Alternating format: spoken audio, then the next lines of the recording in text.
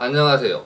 오늘은 2019년 세계선수권대회에서 마롱 선수가 마티아스 선수의 서비스를 포핸드 탑스핀으로 멋지게 공격하는 장면을 분석하도록 하겠습니다.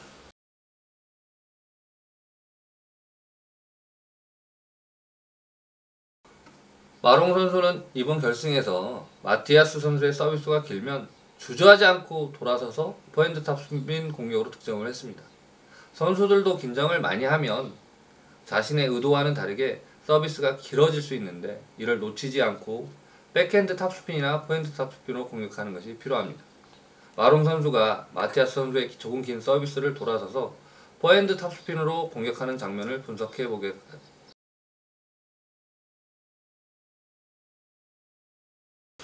마롱 선수가 마티아스 선수의 토스하는 동작에 맞추어서 잔발을 뛰면서 일어나고 있습니다. 일어나서 양발을 지면에 밀착하고 척추를 펴주면서 밸런스를 유지해야 합니다. 이렇게 밸런스를 유지해야 다음 동작을 할 때 발부터 움직일 수가 있습니다.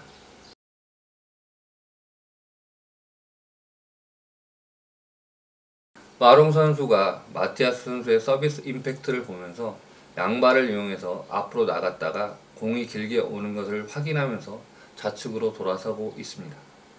이때, 이때도 공을 보면서 발이 먼저 움직여야 공을 정확하게 오른발로 잡을 수가 있습니다. 그리고 돌아서면서, 즉 백스윙을 하면서 스탠스가 넓어지는데 이렇게 스탠스가 넓어져야 중심을 잘 잡을 수 있습니다.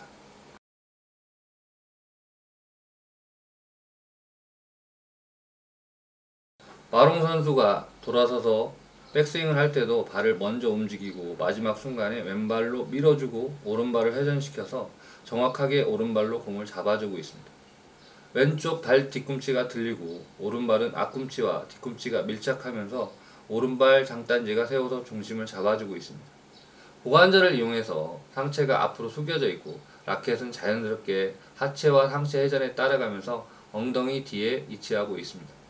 탁구 포핸드 탑스핀 공격에서는 백스윙이 정말 중요한데 반드시 발부터 움직이고 하체가 리드해야 한다는 점을 명심해야 합니다.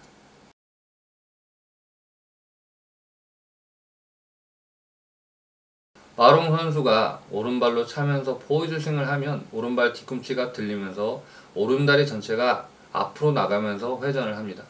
그리고 왼발을 디디면서 왼발 전체를 딛고 왼발 장딴지를 세워서 중심을 잡아주고 있습니다. 이렇게 중심을 잡아주어야 타격 후에 다음 동작으로 이어질 수 있습니다. 백스윙이 잘 되어 있으면 오른발로 차주면 몸체와 팔이 자연스럽게 회전합니다. 감사합니다.